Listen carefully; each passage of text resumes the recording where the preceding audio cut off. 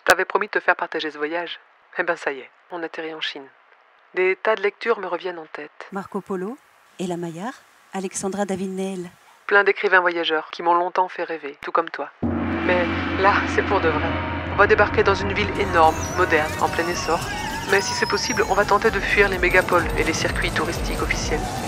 Je rêve d'aller à Kashgar, en plein désert du Taklamakan, dans l'ancien Turkestan, que les Chinois qui ont annexé le pays il y a 50 ans appellent Xinjiang.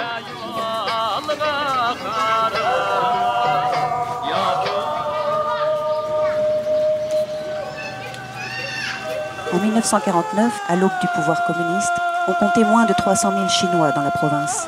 Arrivant par vagues déterminées qui ne cessaient d'enfler, ils étaient maintenant plus nombreux que les 8 millions d'Ouïghours. Un génocide silencieux par la démographie.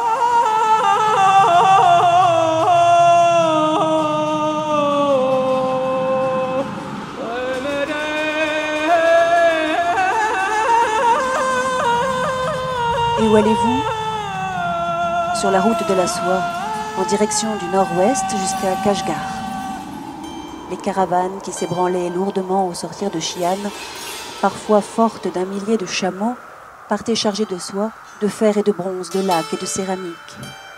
Celles qui revenaient d'Occident apportaient des objets de verre, d'or ou d'argent, des épices et des pierres précieuses des Indes, et cette invention stupéfiante qu'étaient les chaises.